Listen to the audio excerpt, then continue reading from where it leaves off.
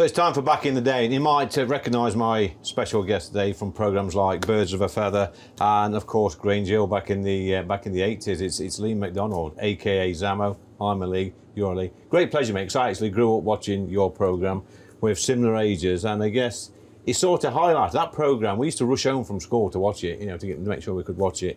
Highlight of our week, and I guess some of the struggles that kids were going through at the time were you know, were you know sort of replicated in our lives at home. So you tell some great stories, and especially the, the you know the drugs line with, with, with Zammo. But I guess the pressures today for young people, and you've got two kids, uh, are slightly different, especially with the online stuff.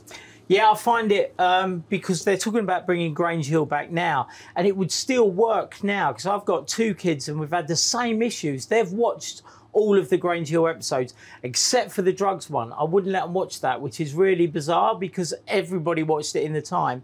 Um, but we was talking about this relating to stuff and the bullying still goes on today but the difference i feel with the bullying now is when we got bullied or if i got bullied or there was a bit of bullying going on at school at half past three you went home it was all forgotten and then next day you went in but now uh, the kids are getting it with internet social media the bullying is 24 7 um, and the mental health uh, issue now is massive. And I think that has got so much to do with it. When the girls and the boys are sitting at home in bed, all they're getting is bombarded by bullying uh, through social media and stuff like that. So the issue is probably bigger now. Yeah than it was when we were back See, in the, the, bully, the bully in Granger was something called Gripper. Yes, Gripper, yeah, Gripper Stebson. Stebson, that's it. And uh, I remember he was, in the end, they sorted him out, yes. didn't they? I think the good old fashioned yes, way. Yes, yes. Uh, but today, that, like you say, it doesn't stop at school. Yeah. They get home, they've got the phones, they've got the, the tablets, they've got the laptops, and it's more of a mental bullying, you know.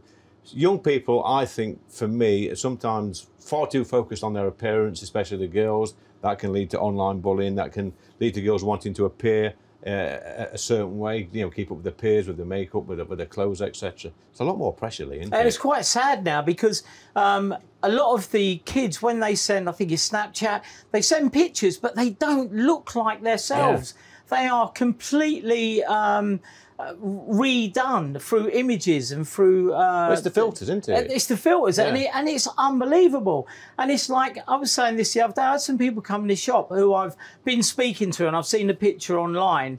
Um, and then when they come in, they look completely different. And these are people in their late thirties, early forties, and and they're doing they're doing filters. I'm like, yeah. come on! Yeah. I would never filter myself. It's just not something I do. My boy doesn't do it. Um, but Katie, I'm sure there's a bit of filtering going on. She won't admit it, but I'm sure there's a bit of filtering going on.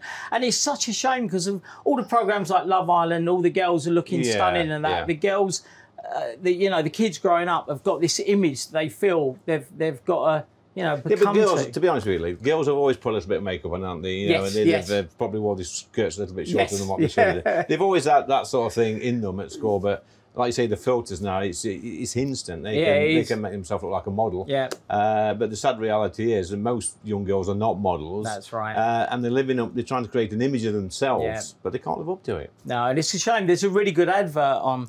Um, I've seen it on telly where it, it, strips back, but it goes back to the girl before she's putting the makeup on, and it's a really poignant. You you look at it and it's brilliant because that's how they should be. Kids should be kids now, Yeah. and they're not from the age of. They get phones now. What eight or nine, Yes, ten, and they they're do. they're open to.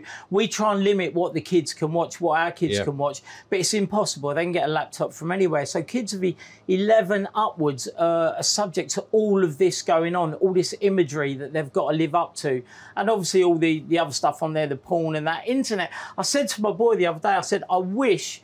Uh, and I'm sure all parents do this. You'd grown up in my Yeah, era yeah, uh, when you come home, uh, no phones. You come home, you go out till the lights go down. You're in for dinner. Uh, clip round the ear if you did something wrong. But now it's like 24 seven with a with a with the bullying and stuff. And I keep telling them, you, you, it- my day was Uh, better. better clip round the ear or when you misbehave. And- And, a bath once a week if you needed one or not. And, uh, but seriously, Lee, do you think when you was filming Grange Hill, did that sort of mirror your life at, at a normal school?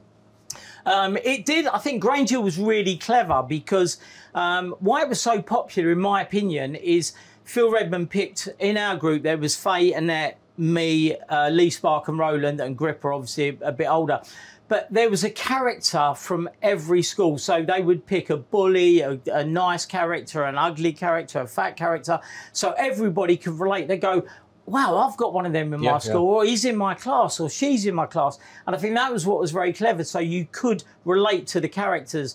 And I think everybody wanted to be at Grange Hill. Before Grange Hill, when I was in it, when I think they threw a, uh, a bench in the swimming pool Yeah. in the in the 78, and I was like, wow.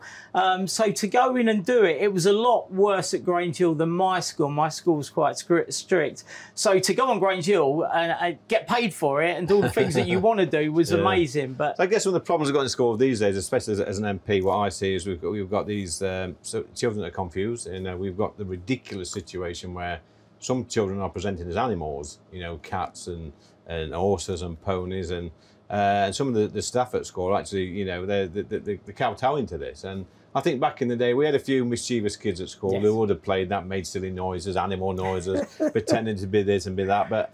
I think we've gone a little bit too far these days, don't we? Lee? Yeah, I think it's. Uh, I think it all needs to be stripped back. But that's just my opinion because I think when I grew up through school, there was a lot more respect. It was. It was just different. You were who you were, Yeah. um, and it was a lot. It was a lot more basic then. It is. I would hate to be going back to school now. I wouldn't Yeah. like it.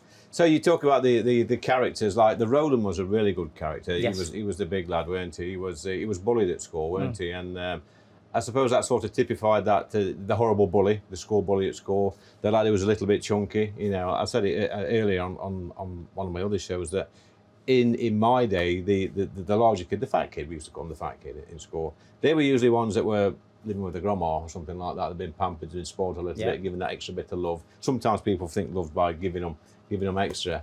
But we're seeing scores now. There's a lot more Rolands in school Yes, now, isn't there? It yes. seems to become a little bit acceptable. I mean, I mean, back in the day in Grange, that was just one, just one Yes. child. Do you still get on with Roland? You still see him? I, I speak to Roland. We we meet up at, from time to time, and all the Grange Hill people speak through social media, Yeah. and we have events every couple of years. But me and Roland, we speak to each other at least once a week. I'm terribly. He'll probably call me, and I'll say I'll call you back, and I'm a bit late in calling people back.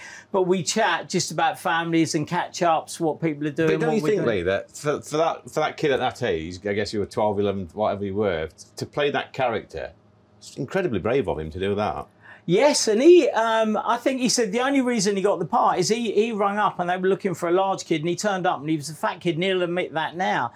Um, and yeah, I think it was at that time to take on that character. But I think when you're a kid and you do it, you you don't realise how big the show's going to be yeah. um, at that And I guess he, he got the chance then, he got free reign to express his own pain and Yes, sorrow to, yes. to a character, which, is, which is incredible, really. Yeah, and I think he got lots of um, uh, obviously one emails then, but loads of letters from kids uh, relating to him and saying they've really helped, Yeah. you know, him because they'd opened the subject wide again, you know, and Yeah. seen what uh, fat kids, so-called fat kids, uh, abuse they got, and I think it helped a lot of people. Did you get a lot of fan mail back in the day? Oh, golly, yes, we did. We got stacks and stacks of it. It used to be in the BBC. And for me, it was amazing because um, I went out to we're on a school trip to the London Museum and with my school, and there was two girls' schools in there.